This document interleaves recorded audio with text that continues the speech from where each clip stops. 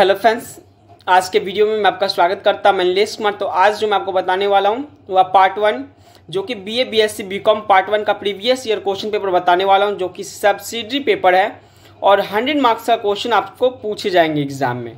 तो वीडियो को अंत तक ज़रूर देखें। तो जैसा कि आप स्क्रीन पर देख रहे हैं हंड्रेड मार्क्स का क्वेश्चन पूछे जाएँगे, जो कि दो हज़ार में पूछे गए हैं हंड्रेड मार्क्स का।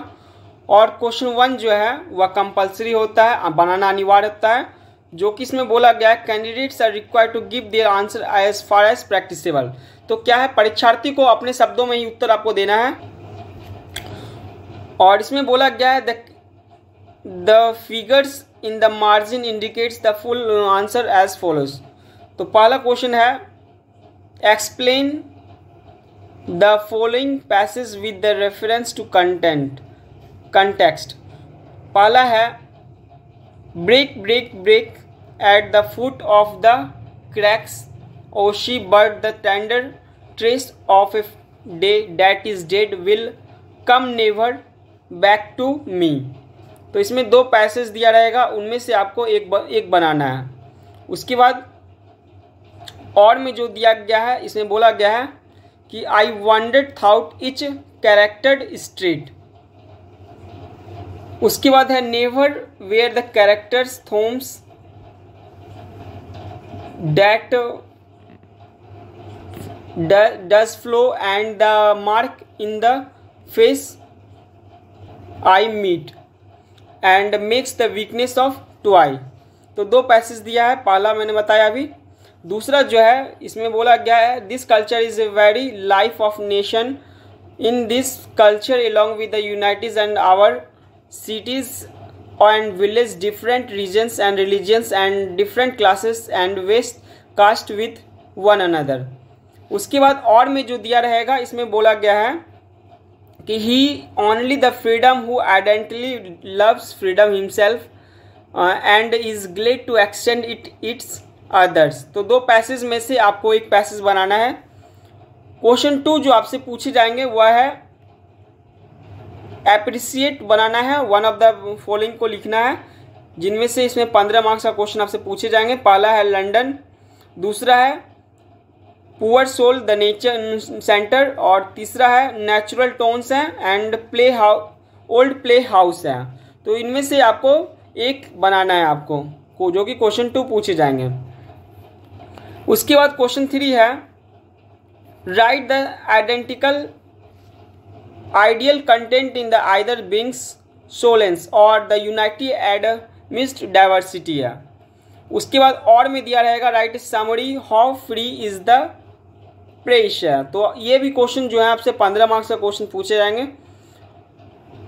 क्वेश्चन फोर जो है, एक पैसा पैराग्राफ दिया रहेगा, आपको एक क्वेश्चन पैराग्राफ में बनाना है, जो कि दस मार्क्स का दिया रहेगा, और पहला है rolling stone gather no moss दूसरा where there is is will there is a way तीसरा है a way work begins is half done और चौथा है it's all well that ends well तो यह पैराग्राफ है शॉर्ट पैराग्राफ है, इनमें से आपको क्वेश्चन वन बनाना है। उसके बाद क्वेश्चन फाइव जो है, एक पैसेज दिया रहेगा आपको।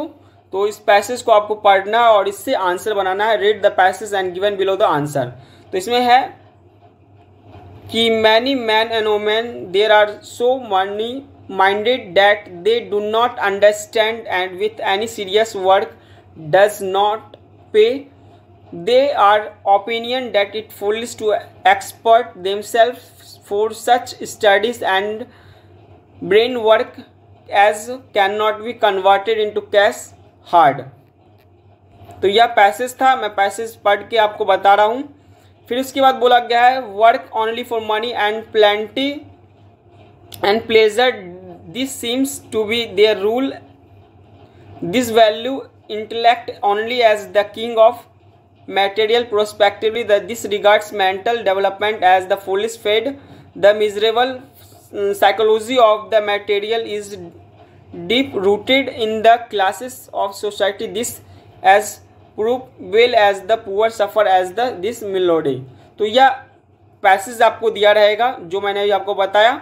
उन्हीं से आपको एक प्रश्न दिया रहेगा, जैसा कि प्रश्न यहाँ पे दिया गया है कि what do you money minded people believe in तो पहला है, दूसरा है what is the rule of in their life तीसरा है where do they use their intellect और चौथा जो है what is the meaning of words given below is the founded as the passage और इसमें जो ऑप्शन दिया गया है टू एक्सपर्ट है to convert expert convert fates materialism and last है मेलोडी तो यह पैसेज दिया था, उनसे आपको एक प्रश्न दिया रहेगा। उसको आपको बनाना है, जो मैंने अभी आपको बताया, और यह जो क्वेश्चन है चौदह फोर्टीन मार्क्स का क्वेश्चन यहाँ पे दिया गया। तो चौदह नंबर के प्रश्न जो है, आपसे पूछे जाएँगे, जो मैंने अभी आपको बताया। उसके बाद नेक्स्ट क्वेश्चन जो है, वह एक पैसेज दिया रहेगा आपको और उनमें सजेस्ट टाइटल आपको लिखना है। जैसा कि मैं इसको पढ़ के भी आपको बता देता हूँ, इसमें बारह नंबर का प्रश्न पूछे जाएँगे, यहाँ पे देख रहे हैं आप, बारह नंबर का प्रश्न है। और इसको मैं पढ़ के एक बार बता देता हूँ, इसमें बोला गया है the energy consumption by the so societies has been constant increasing from the burned wood of the produced energy as the coal as producing system as the run as engines.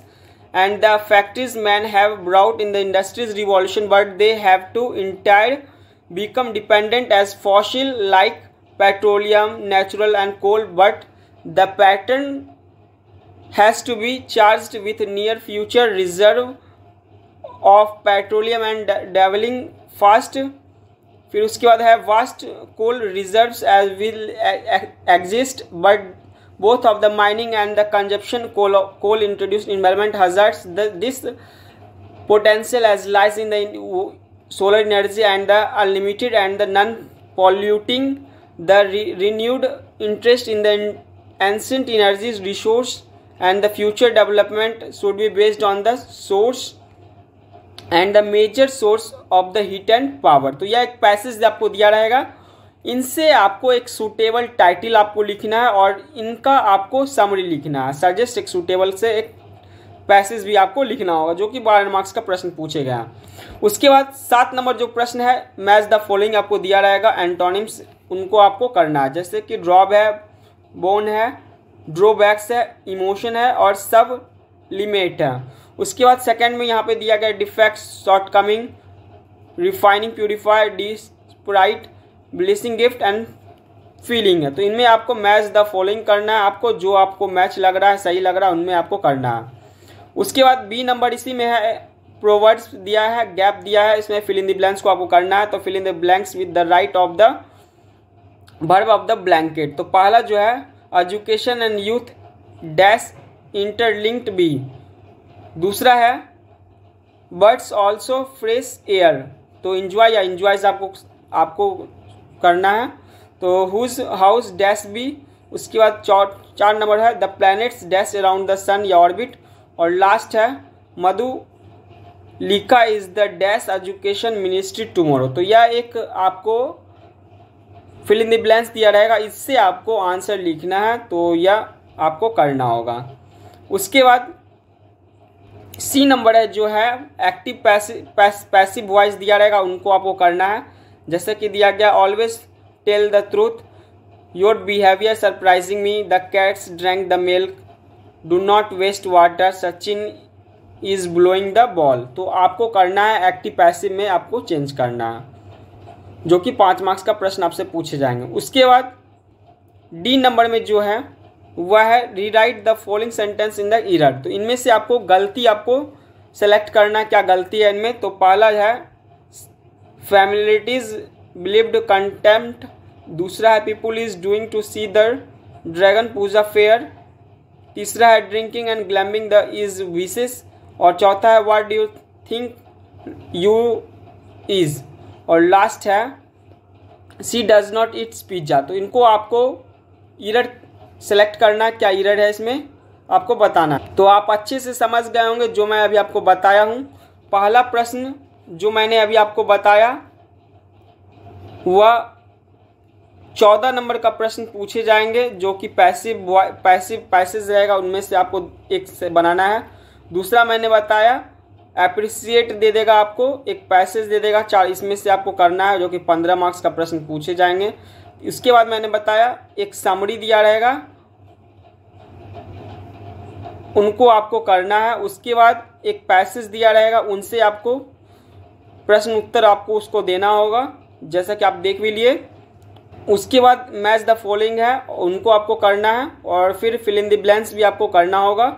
और लास्ट है active passive दे भी सकता है exam में, और last year करना। तो यह जो मैंने बताया इंग्लिश का सब्सिडरी का था।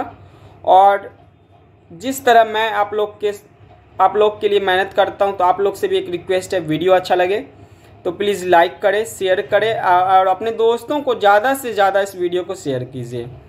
धन्यवाद।